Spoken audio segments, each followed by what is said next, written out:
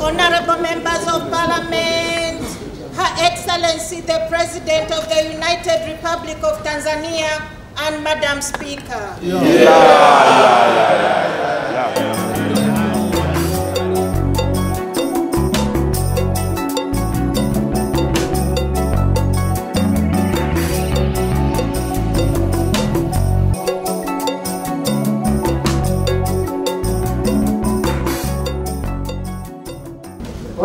Honorable Malungo Chisangano, First Deputy Speaker, Right Honorable Moses Moyo, Second Deputy Speaker, Honorable Ministers and Deputy Ministers here present, Honorable Members of Parliament, Mr. Roy Ngulube, Clerk of the National Assembly, dignitaries here present, invited guests, ladies and gentlemen, on behalf of the government and the people of the United Republic of Tanzania, I thank you for this honor to address the National Assembly. You. Madam Deputy Speaker, at the outset, I wish to convey my deepest condolences to the Speaker and yourselves, members of Parliament, to all members of this House and the people of Zambia for the passing of an Honorable Amusa Mwanamwagwa, excuse my pronunciation, mm. former Speaker of Zambia National Assembly and one of great sons of this land. He was a frequent visitor to Tanzania and made many good friends there. Our hearts go out to his family. May the Lord grant them the fortitude to bear this loss. we pray that his soul rest in eternal peace. I'm here in Zambia with the invitation of His Excellency President Hakainde Hichilema. My, my stay in Zambia has been remarkable. yeah.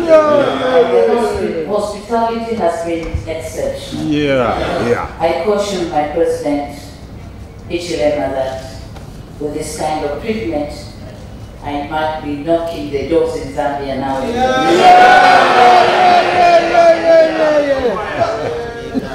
After all, to us, Zambia is also home. Yeah. Madam Deputy Speaker, um, I'd like to congratulate all the honorable members of this House for being entrusted to be the voices of the Zambian people. In my career, I had the honor to represent constituencies, first in the House of Representatives of Zanzibar, and later in the par- uh, Parliament of the United Republic of Tanzania. It is a special privilege and responsibility, and one which is also of key importance in the relations between our two countries. This is, this is a point I'll return to before I conclude. For now, it will be remiss of me if I didn't salute you, Madam Deputy Speaker, for being the, uh, Madam Speaker for that matter, for being the first female speaker in the history of Zambia. My election to the speakership is testament of her commitment and dedication to the public service and the confidence her peers have in her leadership. But let me add this. These attributes have also been recognized in the region and beyond.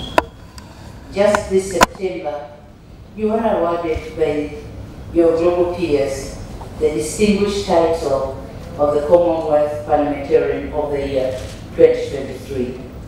As such, as such, we also commend for the remarkable job you are doing. Congratulations. Yeah, yeah. Madam Deputy Speaker, thank you for inviting me to address this August Assembly. And I note with gratitude that under your able leadership, I'm the first female head of state to join the list of foreign dignitaries who have addressed this August House. Yeah, yeah, yeah, yeah. I am humbled. Madam Deputy Speaker, honorable members, distinguished guests, The relations between our two countries were solidified by the late Mwalimu Julius Nyerere and Wazi Dr. Kenneth Kaunda, Yeah. our founding fathers. Their closeness made us understand the close ties we share with the Zambian people. In Tanzania, we adore President Kaunda. So much so that we got carried away with his tie and attire, which left a lasting impression in the form of Kaunda suit.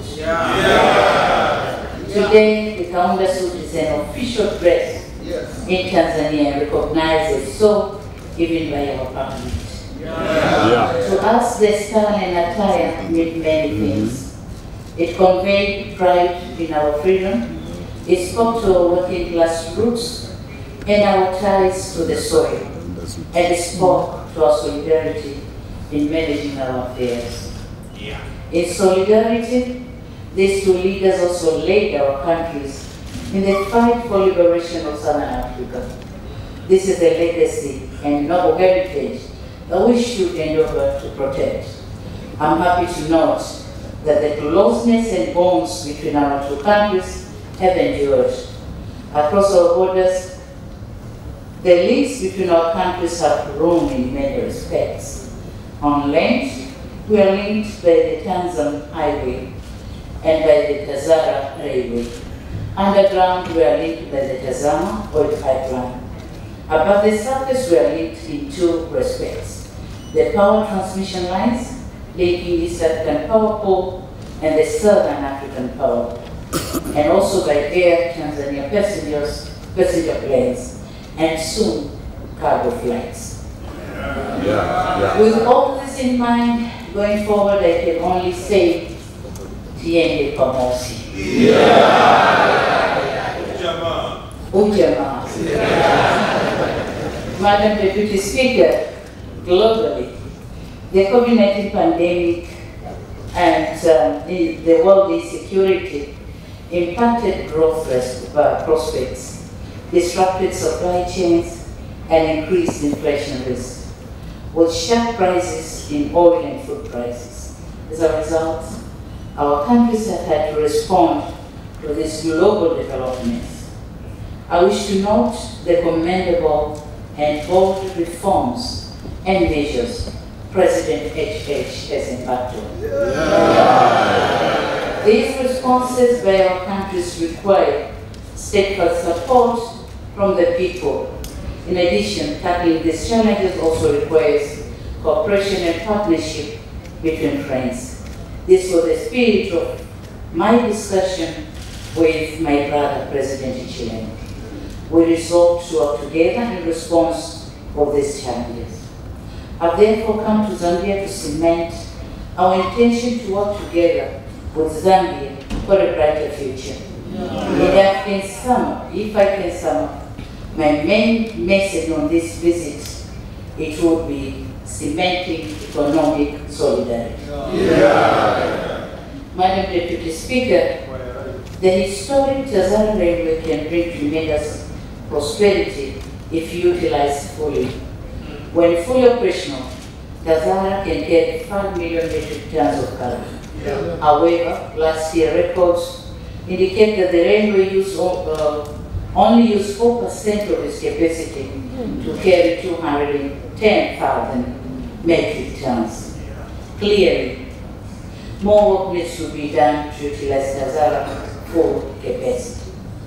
On the other hand, the Tazara's capacity to carry 3 million people per year is dwarfed by the reality that even at its peak, a maximum of 564,000 people were carried. Our, our two governments are aware of the importance of Tazara to our economies. Joint efforts will be required to resolve the challenges Tazara faces. Joint initiatives will also be needed to facilitate the leasing and mobilization of resources for innovations. The same holds for Tanzania Zambia Mafuta pipeline, Tazama. Expanding Tazama pipeline is key for Zambia's energy security, and we commit to do to doing so jointly. We will factor in all necessary considerations, including environmental and security ones, among others. As for the Tanzania-Zambia Highway, TANZAM, linking our two countries, has some patches that need major upgrades. Tanzania is ready to embark on joint resources mobilization um, efforts Zambia to finance upgrades of this important infrastructure to further facilitate trade and reduce trade costs. Madam Deputy Speaker, parliamentarians play a key role in fostering bilateral relations. The good intents of our two governments require solid backing of our respective parliaments if they are to bring about intended outcomes. Members of parliament represent the people and engage in debates about government plans, budgets, and programs.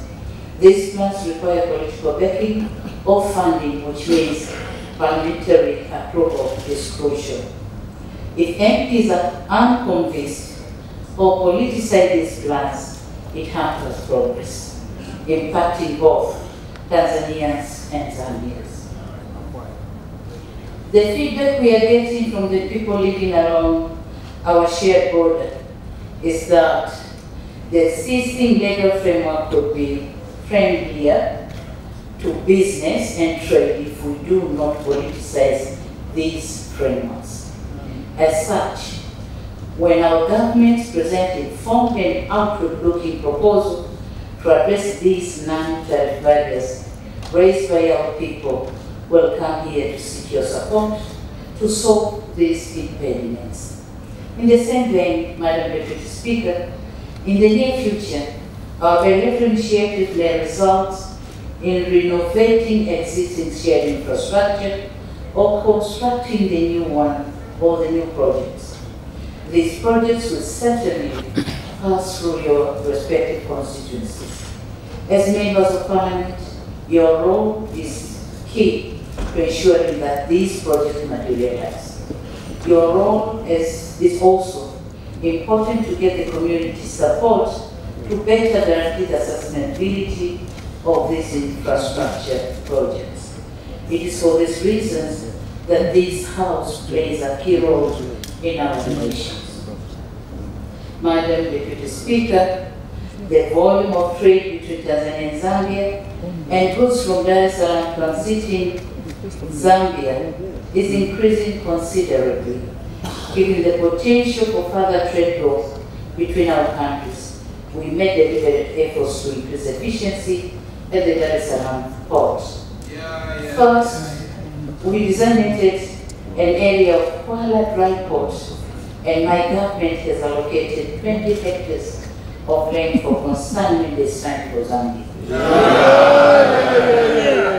port will facilitate longer uh, free storage periods up to 45 days from the current 15 days at Dar es Salaam port. Second, we developed the Tanzania electronic single window system that will enhance efficiency in uh, processing documentation. Third, we are finalizing review of our port tariff book that will set an ecosystem of charging wharfage by three a United States dollar per tonnage per cubic meter.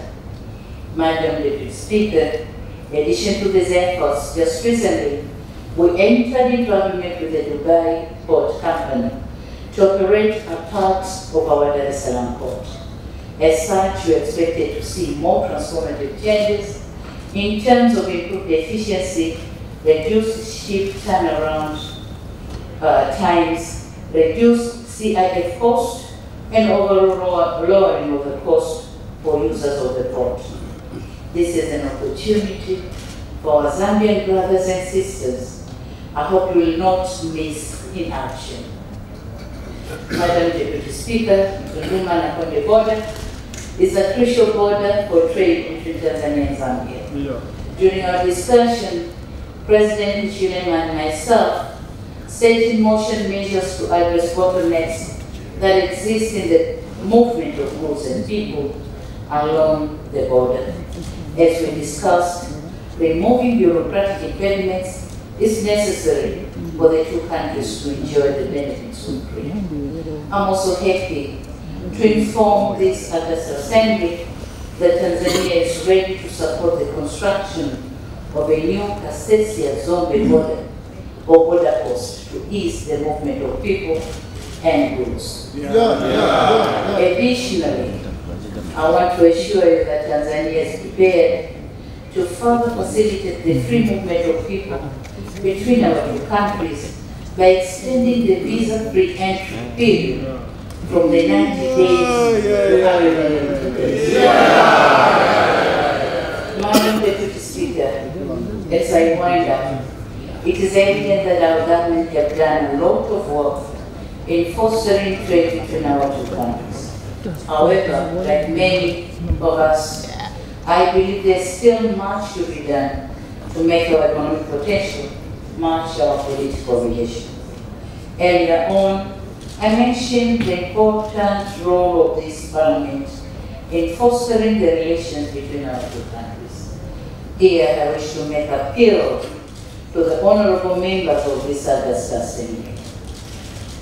To the honorable members of this Assembly, I call upon you to transmit my message of solidarity to the brotherly people of Zambia and our rally to them saying Tiende Pamoja.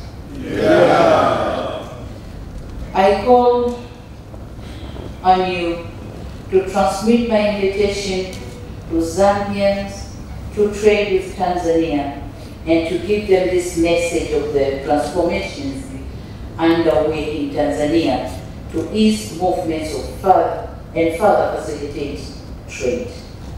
I call on you to continue to voice the concerns of challenges of Zambians trading in Tanzania and to bring their concerns to us so that our two governments can swiftly table discussion and address any concerns. I call on you, honorable members, to continue to urge the people of Zambia to support the various joint projects being undertaken for furthering of our countries. In doing so, it is important to impress upon them that these are their projects, done for their benefits, and they have role in protecting them. I call on you to support the various initiatives being undertaken to promote trade and investment between our two countries, including by passing the necessary legislation to support these projects, most notably the Tanzania-Zambia Railway Act. I call on you to enhance cooperation with your peers in the National Assembly of Tanzania, including undertaking exchange visits in areas of mutual interest. And I was ah, proposing to Madam Deputy Speaker that the next trip you should visit Zanzibar, the other part of Tanzania. Lastly, I call on you, honorable members, to continue bringing our two countries and people even closer together. Madam Deputy Speaker, I want to assure you Tanzania will continue to play its role in fostering and facilitating regional prosperity, peace and stability. I strongly believe through these inten intentions and noble and deliberate actions, we can honor the legacy of our forefathers. We will continue to show solidarity and not shy away from our responsibility to foster common understanding and collaboration between our two people and countries. It is a legacy that we are proud of, and it is a legacy that is also shared with the people of Zambia. I assure or I assure you of my unwavering commitment and that of the government of the United Republic of Tanzania to continue working closely with His Excellency President Hakainde Hichilema and the government of the United Republic, government of the Republic of, the, of Zambia for the mutual benefit of our people. I wish to impress upon you that my presence here today in the esteemed August House, and my engagement with the honorable members speaks volume about this very information. Yeah. yeah. May God bless Tanzania Zambia. May God bless Africa. Asante sana, nikomo kwa yeah. yeah.